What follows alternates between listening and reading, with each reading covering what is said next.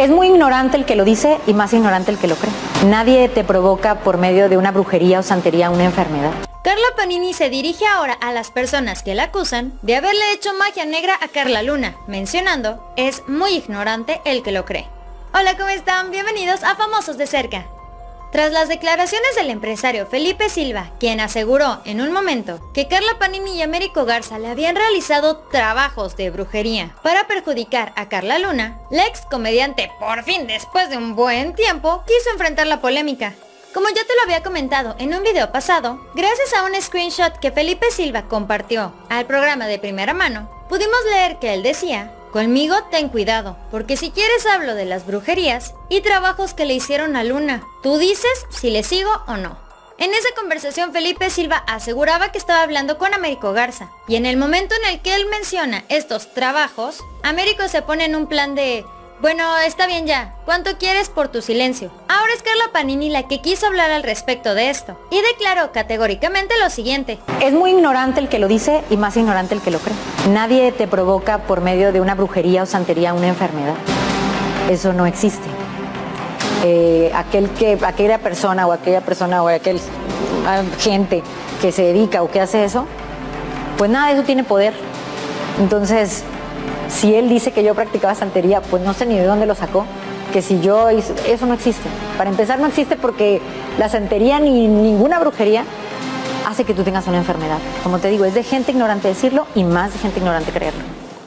De igual manera, al ser cuestionada por Gustavo Adolfo Infante sobre cuál es su estado anímico después de haber tenido tantas críticas y que tantas personas hayan arremetido en su contra, Carla Panini mencionó. Pues fíjate que me siento eh, fuerte porque mi familia sabe quién soy yo, Gustavo.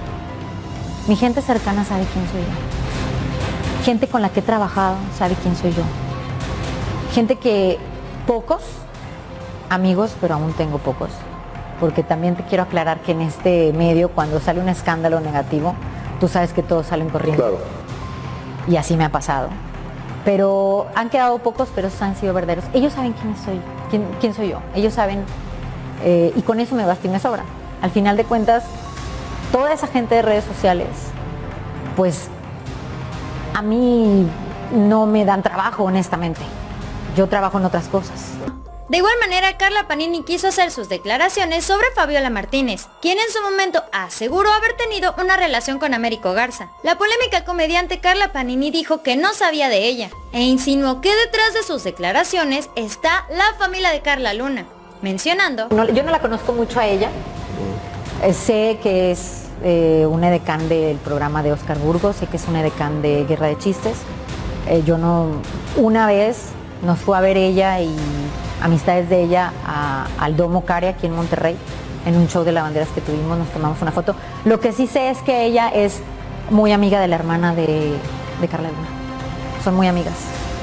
¿Y a ti nunca te dijo que andaba con, América? No, no, yo no, no puedo decirte nada de eso porque realmente ni siquiera lo tomo en cuenta. O sea, lo inventaron.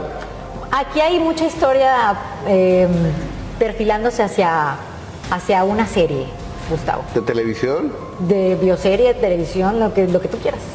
Y es así como la entrevista de Gustavo Adolfo Infante, realizada con Carla Panini y Américo Garza, da demasiado de qué hablar. Pero como ya te lo mencioné en un video pasado, al parecer, tanto Panini como Américo no quedaron conformes con esta, ya que no se les preguntó lo que ellos querían que les preguntaran, o al menos de la forma que ellos querían. Normalmente en este tipo de entrevistas pactadas hay un guion. Literalmente la persona que va a preguntar sabe cuáles son las preguntas, al igual que el entrevistado. Y digamos que en un momento claro que pudieron haber practicado las respuestas. Pero bueno, a final de cuentas seguiremos escuchando y estaremos bien al pendiente de todas las declaraciones que hace ahora Carla Panini. Esto fue Famosos de Cerca. Dale like a este video y dinos aquí abajo en los comentarios, ¿tú qué opinas acerca de la entrevista que dio Gustavo Adolfo Infante con Carla Panini y Américo Garza? ¿Te gustó? ¿Te pareció real? ¿Te hubiera gustado que le preguntaran algo en específico? Dímelo aquí abajo. No olvides suscribirte a nuestro canal de YouTube y activar la campana de notificaciones. Además en Facebook puedes seguir nuestra página para que en todo momento te lleguen las notificaciones de cada vez que subamos una publicación o un video. Lo único que tienes que hacer es dar clic aquí en seguir. Que tengas un excelente día. Nos vemos muy pronto. Bye.